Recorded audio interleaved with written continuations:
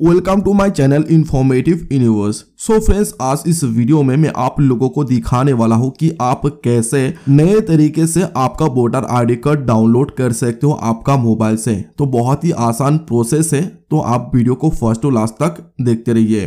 तो फ्रेंड्स इस प्रोसेस को करने के लिए आपको ये जो एप्लीकेशन है, इस एप्लीकेशन को इंस्टॉल कर लेना है।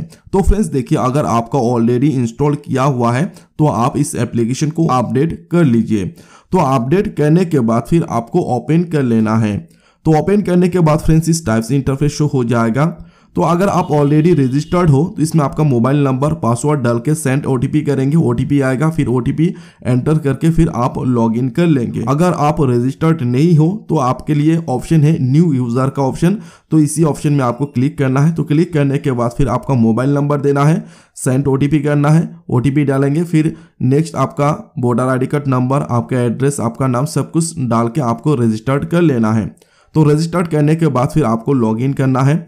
तो लॉगिन में सिंपली आपका मोबाइल नंबर डालेंगे, फिर आपका पासवर्ड डालेंगे, फिर सेंड ओटीपी करेंगे। फिर ओटीपी आएगा, उस ओटीपी को आपको इधर एंटर कर देना है। एंटर करने के बाद फिर आपको लॉगिन नाउ का ऑप्शन में क्लिक कर देना है। तो क्लिक करते ही फ्रेंड्स, इस टाइप से इंटरफेस शो हो जाएगा और इसमें बहुत सारा ऑप्शन आपको दिखेगा। जो आप देख सकते हो voter registration voter service download e epic election candidate information यानी आप सब कुछ इस एप्लीकेशन से देख सकते हो ई रिलेटेड तो इसमें जो ऑप्शन है डाउनलोड ई एपिक इसी ऑप्शन में आपको क्लिक कर देना है। तो क्लिक करने के बाद फ्रेंड्स, इस टाइप से इंटरफेस हो जाएगा। आपको पूछा जा रहा है कि आपके पास एपिक नंबर यानी वोटर आई कार्ड नंबर है या नहीं। अगर है तो फ़र्स्ट वाला ऑप्शन में येस कर दीजिए। अगर नहीं है, आपके पास रिफरेंस नंबर है तो नीचे आपको मिलेगा yes I have form reference number तो इस ऑप्शन में आप क्लिक कर लीजिए। तो मेरे पास ऑलरेडी है एपिक नंबर तो मैं फ़र्स्ट वाला ऑप्शन को चूज़ कर लेता हूँ। तो चूज़ करने के बाद फ्रेंड्स, इस टाइप से इंटरफेस हो जाएगा। तो इसमें आपका एपिक नंबर यानी voter ID card number enter करेंगे, फिर आपका स्टेट यानी आपका राज्य जो भी है, आप इधर से सिलेक्ट कर लेंगे। तो सिलेक्ट करने के बाद फिर आपको नीचे ऑप्शन मिलेगा फेच डिटेल्स तो इसी ऑप्शन में आपको क्लिक कर देना है। तो क्लिक करने के बाद फ्रेंड्स इस टाइप से इंटरफेस शो हो जाएगा, यानी आपका डिटेल्स इधर शो होगा। तो फ्रेंड्स क्लिक करते ही आपको इस तरीके से इंटरफेस शो हो जाएगा, जिसमें आपका नाम रहेगा, आपका फादर नेम रहेगा, आपका मोबाइल नंबर कौन सा लिंक है, वो भी रहेगा।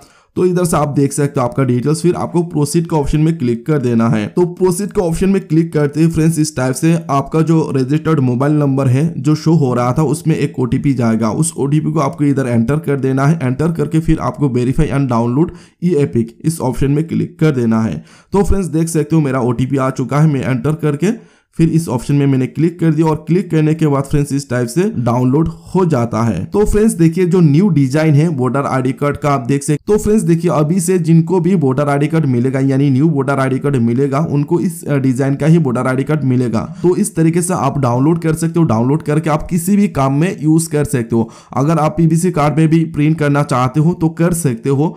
तो इस तरीके से आप डाउनलोड करके किसी काम में यूज़ कर सकते हो। तो फ्रेंड्स इस वीडियो में इतना ही था। तो वीडियो अच्छा लगे तो लाइक कीजिए शेयर कीजिए और मेरे चैनल को सब्सक्राइब करना ना भूले। फिर मिलेंगे और एक न्यू वीडियो के साथ। Thank you